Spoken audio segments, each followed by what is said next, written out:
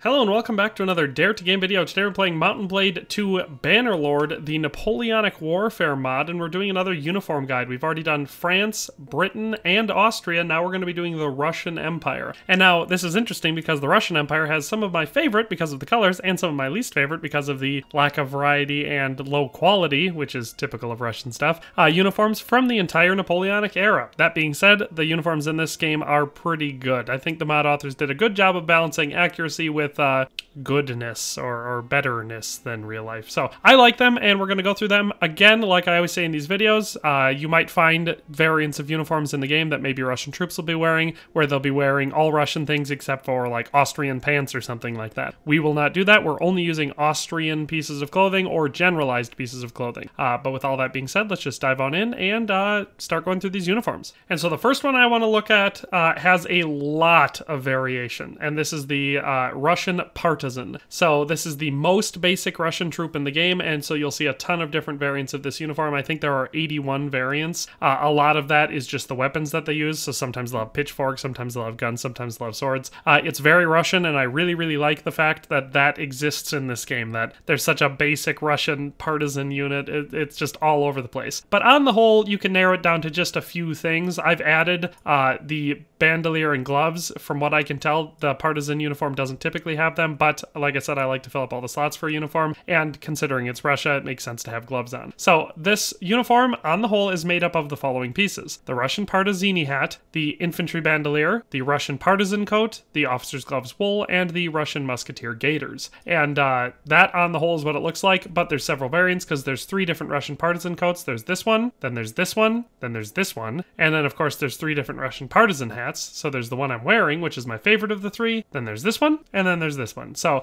like I said, you can get any combination of those three coats and those three hats, uh, and you can typically there won't be gloves or a bandolier, but like I said, I think it looks better with them and makes it have a more military vibe. Uh, the only variant is going to be different weapons that you'll see in the game. But if you want to dress like a Russian partisan, that is how you do it. So that is the first uniform we're looking at. Uh, let's move on to the next one. The next one is the Russian Pavlovsky line uniform. So this is an infantry unit with a fun hat. So I like this one. Like I said, this falls into the category of things where I'm like, you know, I, I don't like the lack of variety, but this is one of the ones that looks quite good. And the hat is obviously super flashy and over the top, and I love it. So this uniform is made up of the Russian Pavlovsky mitre cap, the Russian equipment, the Russian Pavlovsky uniform, the officer's gloves white, and the Russian musketeer gaiters. So one thing of note that I will say for all of the Russian uniforms, the Russian equipment is my favorite equipment in the entire game. It's got a more low profile one. I guess it would probably be less favorite for the Russians because it looks like they don't have a bedroll, which, you know, not ideal for uh, for being in Russia, especially during the winter, but it does look more low profile and professional, so I like it for that. Uh, but overall, I like this uniform. I love green as a color, so it's my favorite color, and I love it for military uniforms. So the Russian uniforms, most of them are green, so that's one of the reasons I like the Russian uniforms in this game. Uh, and overall, this one's quite good. It's got the red accents on both the hat and the uniform itself. The uh, regular tan pants and the, all the other white accents, I think it looks really good. So that is the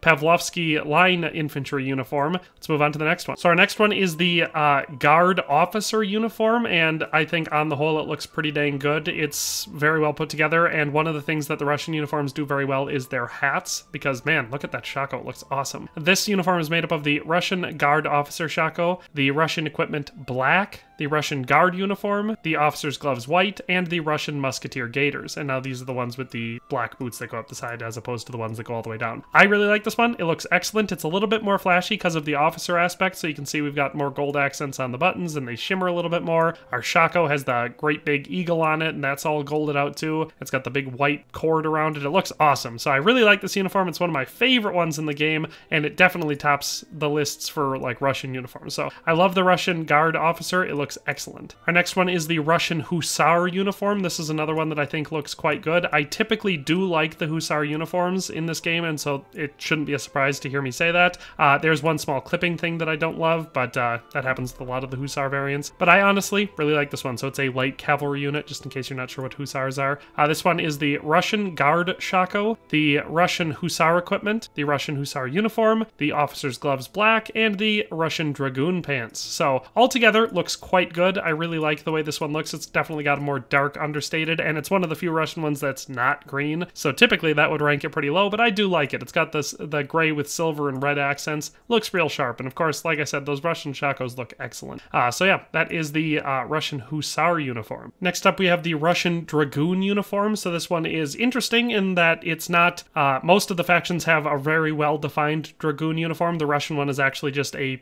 bunch of other pieces that people might not think go together, but I think that looks pretty good together. So it's the Russian Chevalier helmet, the Cavalry bandolier, the Russian infantry uniform, the officer's gloves white, and the Russian dragoon pants. So, like I said, most factions have a dedicated uniform for this troop type. The Russians don't, but you know, it, their uniforms are multi-purpose. They look good together. So even though this one says infantry, it works really well for what it's supposed to be. So I like this one. It doesn't it doesn't make my top five or anything, but it is a solid enough looking uniform. Next up, we have the Russian Cuirassier. So this is their heavy infantry unit, uh, or their heavy cavalry unit. Again, I think this one looks pretty good. Typically, I do like these for the factions because they have that slightly extra detailed level because of the fact that they have a breastplate. But uh, the Russian one looks good. I like it considerably more than the Austrian uh, variant of their heavy uh, cavalry. I think the Russian one looks significantly better. So this one's made up of the Russian Chevalier helmet, the infantry bandolier, which is interesting enough for a cavalry unit, uh, the Russian Cuirassier uniform, the officer's gloves white, and the Russian musketeer gaiters, this time the ones without the black. So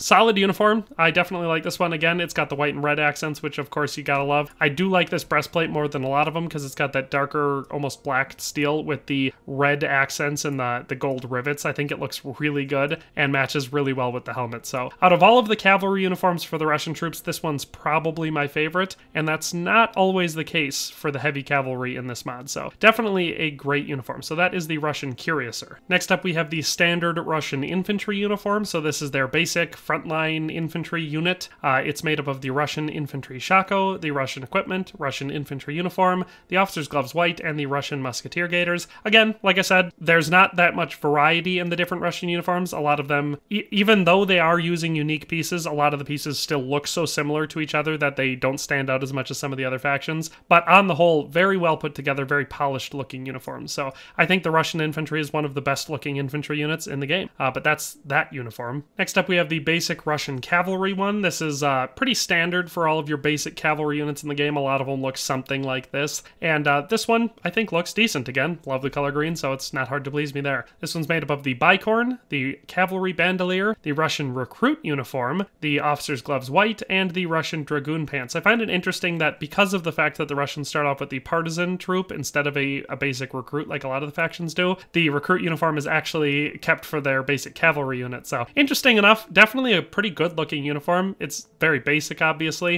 and I'm not nuts about the bicorn hat with it because, like I said in previous videos, it removes your hair and so it makes you look all bald and stuff. But uh, overall, pretty good looking uniform. Definitely uh, has room for improvement, but no major problems with it. Doesn't clip. All the textures look good. So, very solid. Next up, we have the Russian rifleman uniform, which, you know, if you watch my British uniforms video, you know I'm a sucker for a rifleman uniform, and I definitely do like this one. So, I don't know if I've already claimed a favorite for the Russian troops, but obviously really if I said it was a different one, then I was wrong. It is this one. It's got to be the rifleman one. I love rifleman uniforms. They're just so sharp. That being said, the British one is significantly better than this one. It's one of the rare instances where the British uniform kicks the crap out of the Russian one. I like a lot of, like, I like the basic Russian infantry a lot more than I like the basic British infantry. But the uh, British rifleman uniform looks so much better than this one. That being said, this one is my favorite Russian one, and it's made up of these pieces. The Russian Jaeger Shako, the Russian Equipment Black, the Russian Rifleman Uniform, the the Russian are the officer gloves black and the Russian Jaeger gaiters. So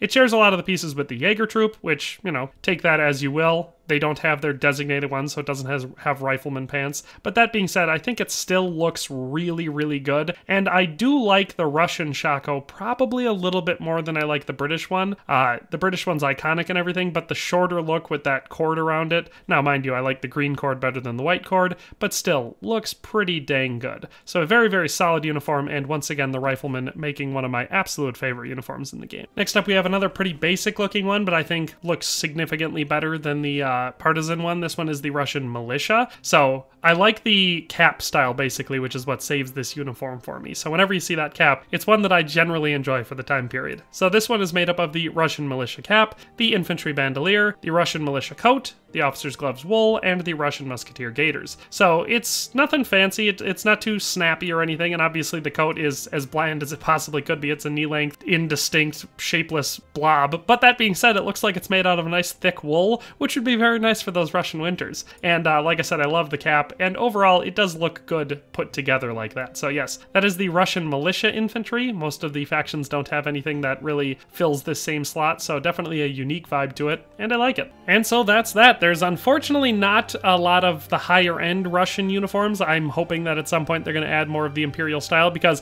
when you look at it historically, Russia had some sick Imperial looking uniforms during the Napoleonic era for like the Tsar and the high ranking people. They had some really flashy uniforms, possibly even more flashy than France's at the time, which is saying something. So none of those are currently in the game. I've showed you all of the ones that I could find and isolate throughout the game. Now you could probably mix and match some pieces from other factions to come up with something that looked kind of like those uh, real fancy Imperial Russian uniforms from the period, but that's not what we're doing in these videos. So with all that being said, that's all for today. Hope you enjoyed this video. Hope it was a good look at all of the different Russian uniforms in the game. that's the whole point of these videos. But that's all for today, and we'll see you next time. Thanks for watching another Dare to Game video. If you liked this video, please leave a like and a comment. If you haven't already, be sure to subscribe to the channel. If you like my content and would like to support this channel, consider becoming a member today for as little as $1.99 a month. It makes a huge difference. But in any case, thanks for watching and have a nice day. I'll see you next time.